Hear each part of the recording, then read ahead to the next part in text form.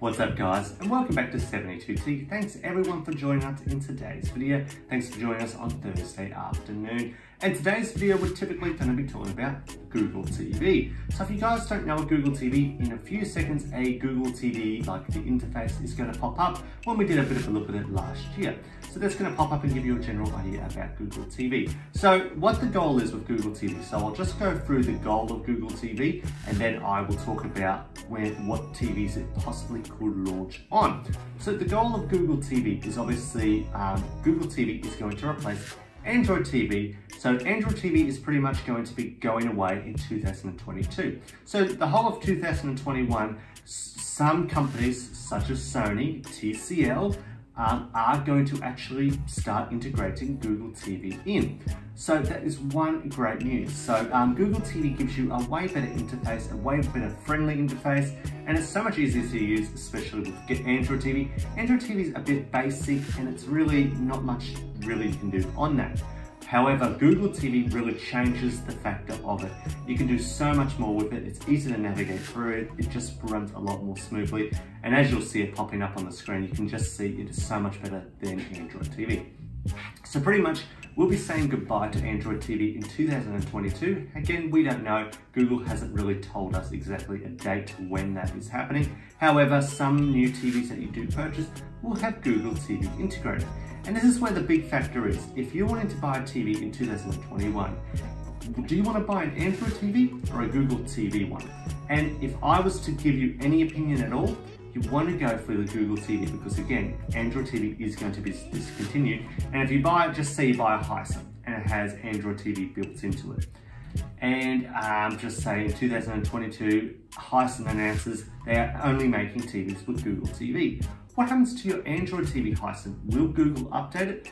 I don't know. It is possible that they will up, update it because it is on their OS system. However, they may not update it, so you may just be stuck with Android TV. You may not be able to update to the Google TV. So that's a couple of factors to do. So if you do want to buy a new TV this year, and you want to make sure it's going to have the latest stuff for the next couple of years, go for Google TV, okay?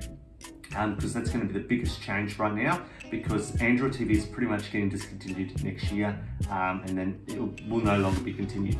So keep that in mind. Now, the big changes that, as I said before, what we're looking forward to is Google, well, CNET has announced that on um, Sony, a Sony TV that they are announcing is going to have Google TV fully integrated on it. It's going to be the first actual TV to have um, Google TV interface built in. And this actual model is going to be called, it's going to be called the X90J. So we don't know how much this TV is going to be yet. However, that is going to be the first TV. It's going to be integrated with um, Google TV. The second TVs that we have been told, and this is out of the United States, is TCL is going to be doing a few TVs with uh, Google TV, okay?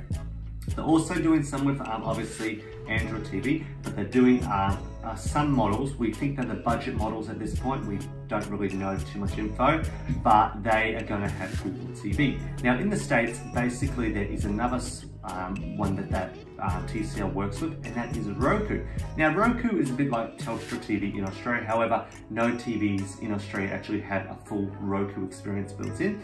So it'll be interesting what TCL does and what TV they put it in. Is it going to be a high-end TV, a budget TV? A lot of rumors are saying it's a budget TV, and it's going to be around the $6.99 mark, possibly we don't know exactly what it will be. But TCL is definitely meant to be getting uh, obviously possibly Google TV this year. We don't know when, mid uh, 2021.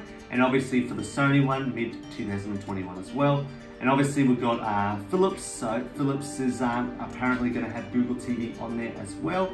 And all of, obviously a few projectors are going to be getting done.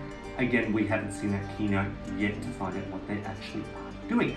And that's pretty much what's happening right there with uh, pretty much Android TV. So also in this video, as I said before, if you were thinking about buying a new TV, so you got Google TV and Android TV, which one to go for? Definitely I would go for Google TV because Android TV is being discontinued. So I'm hoping that may gave a bit of an idea. I'm hoping did a little bit. But yeah, pretty much the only TVs that we sort of know of coming um, to Google TV is going to be the Sony TV, TCL and Philips possibly. We don't really know yet. Thanks everyone for watching today's video and we'll catch you guys in the next one.